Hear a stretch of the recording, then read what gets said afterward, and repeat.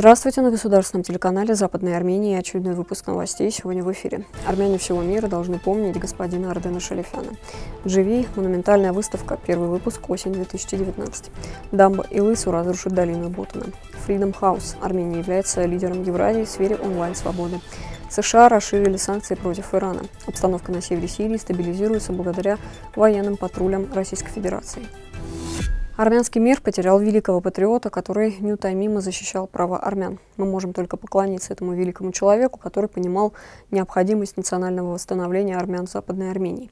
Столкнувшись с продолжающимся истреблением армян после геноцида, а также с неприменением международно признанных прав, господин Арден Шалифян предпринял конкретные шаги для восстановления этих прав и восстановления достоинства народа. Каждая нация нуждается в ярких личностях, чтобы идентифицировать себя, и господин Арден Шалифян является одним из современных фигур идентификации.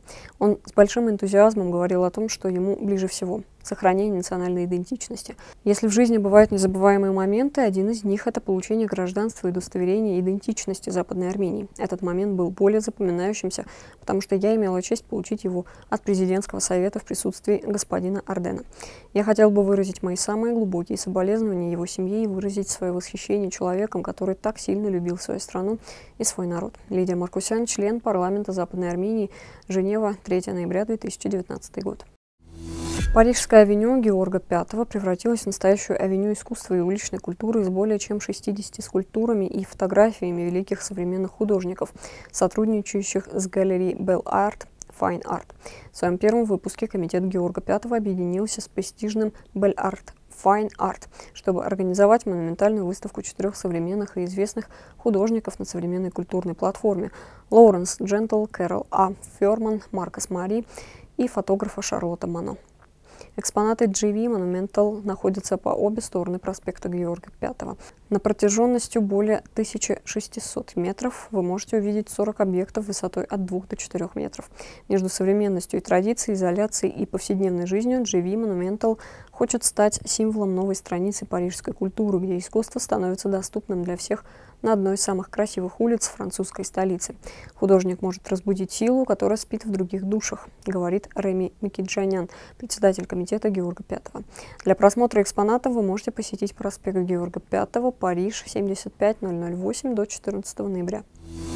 Илысуйское водохранилище в Западной Армении в дополнение к долине Тигр также окажет негативное влияние на биоразнообразие Ботанической долины. Одна из самых важнейших долин Месопотамии, которая отличается своей уникальной биологической жизнью.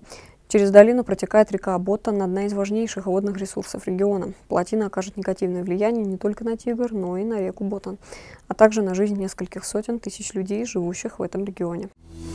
Армения занимает восьмое место в рейтинге свободы интернета, который был опубликован на сайте неправительственной организации Freedom House 5 ноября. Согласно докладу организации, Армения улучшила свои показатели и вошла в список стран со свободным интернетом. Всего в рейтинг вошли 65 стран. Авторы доклада оценивали страны по трем показателям. Отсутствие препятствий к интернет-доступу, доступность контента и соблюдение прав пользователей. Армения набрала 67 баллов из 100 возможных – чем больше баллов, тем лучше показатель у страны. Первое место в рейтинге занимает Исландия, далее следует Эстония, Канада, Германия, Австралия. США находятся на седьмом месте, Грузия всего на балл уступает Армении, а также входит в список стран со свободным интернетом. Украина находится на 32-м месте, Беларусь на 48-м, Казахстан на 50-м, за ним идет Россия. Азербайджан и Турция включены в число стран с несвободным интернетом с 39 и 37 баллами соответственно. Американский Минфин объявил о новых санкциях против Ирана. Министерство финансов США расширило санкции против Ирана и включило в санкционный список 9 человек из окружения лидера страны Аятуллы Али Хаменеи. Как сообщает Радио Свобода, в список попали сын Хаменеи Моштаба, глава генштаба генерал Мухаммад Багири, руководитель администрации Хаменеи Мухаммад Голпагени, а также правая рука Хаменеи Вахид Хаганиан. Указано, что они причастны к нападениям на американские объекты за рубежом, а также к убийствам и пыткам граждан Ирана. Теперь вышеуказанные лица не смогут пользоваться американской финансовой системой.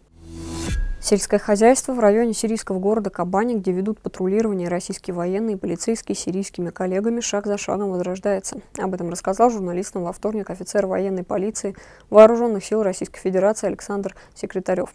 Он обратил внимание на то, что мирная жизнь сирийцев налаживается, люди возвращаются в свои дома. Благодаря тому, что российские военные и полицейские 24 часа в сутки проделывают маршрут протяженностью 160 километров вокруг города, жители окрестных населенных пунктов смогли вернуться в свои дома и заняться сельскохозяйственными работами, передает ТАСС. На сегодня у нас все. Далее мы представим вашему вниманию Масунг Бумахи Кочари.